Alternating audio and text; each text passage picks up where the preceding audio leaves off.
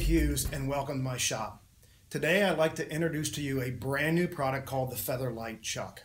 Now what makes this chuck so much different than all the other chucks in the industry is that it's half the weight of the standard steel body chuck. Now we accomplished that by making the main gear assembly still out of steel for durability and then we made the body, the jaws, and the rest of the components out of an aluminum alloy. Now, when I got the first prototype, I put it on my big Powermatic lathe and I tried to do everything possible to get it to fail.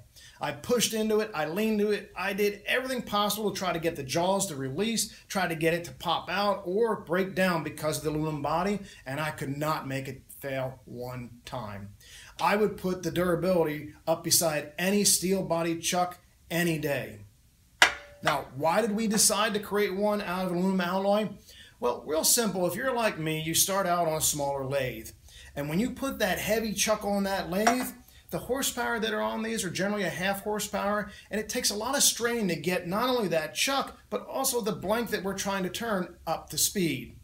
I also found out that when you lean into it and start turning and you start getting aggressive, it starts to slow down, and that strain of not only the blank and the heaviness of that chuck, it takes that motor a little bit longer to get it back up to speed.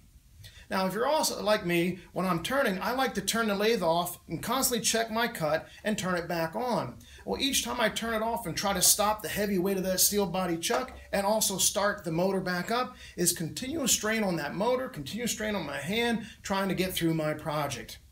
That lightweight chuck cuts down half the weight but still gives you the durability of that steel body. Now, we decided to introduce it in two sizes. Our first one is our two and three quarter inch chuck. This is excellent for like the 10 inch uh, lathes. It also works well on all the larger lathes for those smaller projects.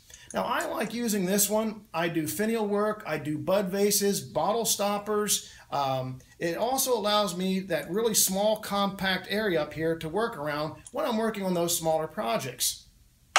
We also make it in a standard 4 inch size. Now the 4 inch size is going to be your most versatile. Uh, of course you can always take the 4 inch and go down smaller. We can't take the little guy up to 4 inch. Uh, works for bowls, works for platters, large vases, bud vases, finials, you name it. Works for just about all the projects that I need on my shop if you decide to pick up one of these FeatherLite uh, chucks, I think you'll be very impressed on how it improves the performance of your lathe for all your turning projects.